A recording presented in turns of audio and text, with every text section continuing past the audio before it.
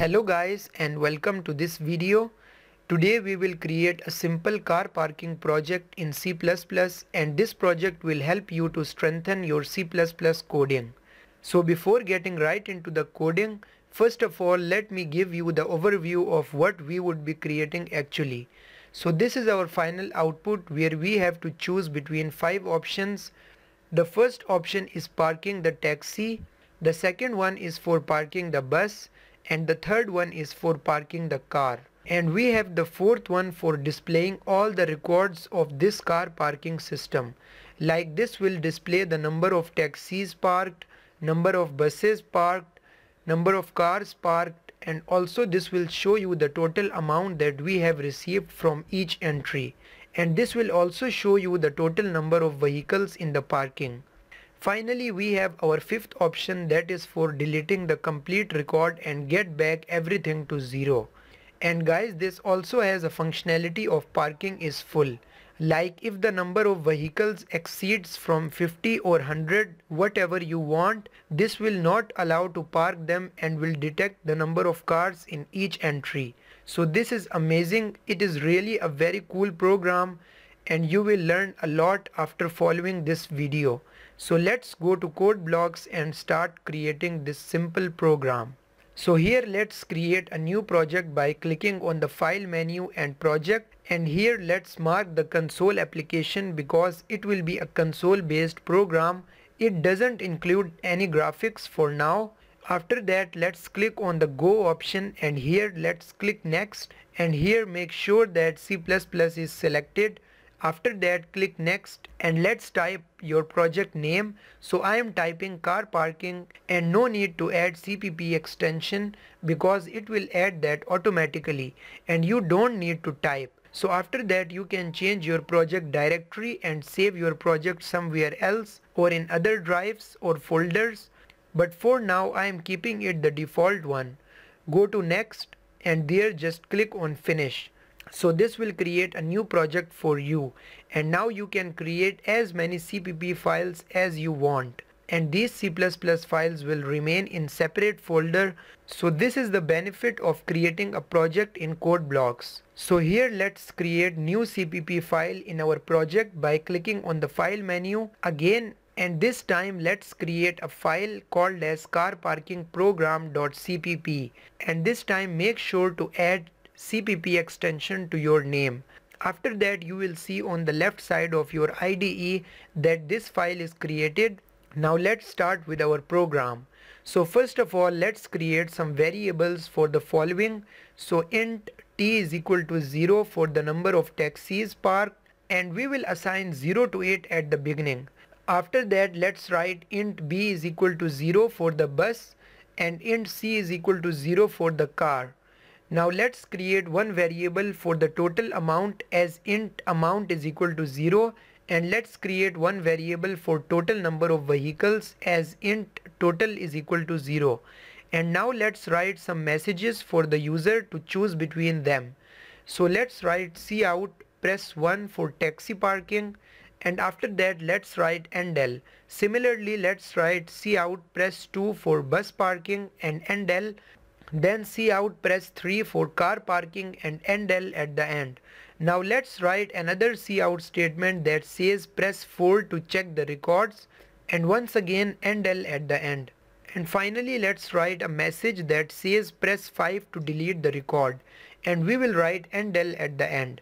Now let's write new variable that will store the input value that a user will type and based on the input we will run switch statement to perform the following tasks and you can also use else if statement for this program but I am using switch statement right now. So let's declare int op short for option at the top and down there just cin op so this will expect integer from the user now let's use this option variable inside the switch statement and let's create the cases for each option as case 1, case 2, case 3, case 4 and case 5. Now inside every case we will write a block of code to perform the tasks.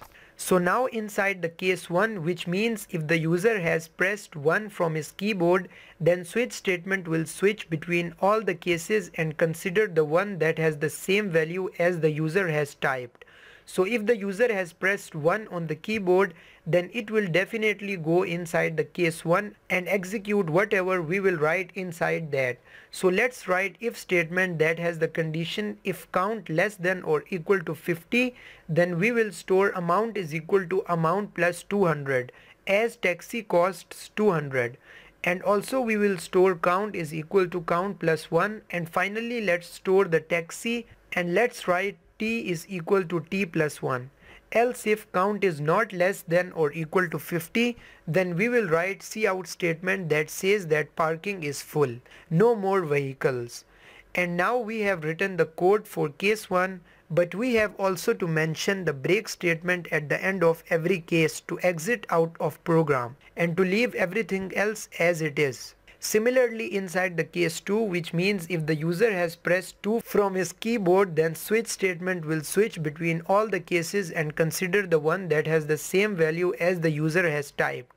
So if the user has pressed 2 on the keyboard then it will definitely go inside the case 2 and execute whatever we will write inside that. So let's write if statement that has the condition if count less than or equal to 50 then we will store amount as amount equal to amount plus 300 as bus costs 300 and also we will store count is equal to count plus 1 and finally let's store the bus and let's write b is equal to b plus 1 else if count is not less than or equal to 50 then we will write cout statement that says parking is full no more vehicles and now we have written the code for case 2 also but we have also to mention break statement at the end to exit out of program and to leave everything else as it is. Now for case 3 we will repeat the same thing so inside the case 3 which means if the user has pressed 3 from his keyboard then switch statement will switch between all the cases and consider the one that has the same value as the user has typed. So if the user has pressed 4 on the keyboard then it will definitely go inside the case 4 and execute whatever we will write inside that.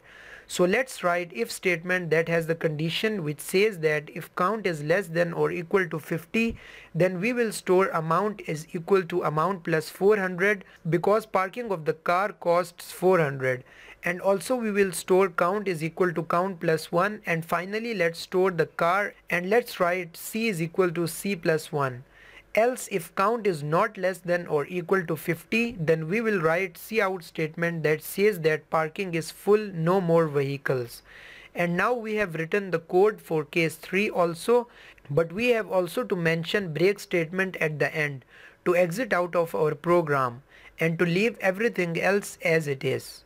Now for case 4 what we're gonna do is that we have to print all the records of our car parking on the screen and this is the part that will actually appear on the screen.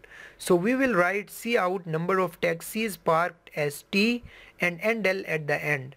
Similarly cout number of buses parked as B and endl and cout number of cars parked as C and endl at the end.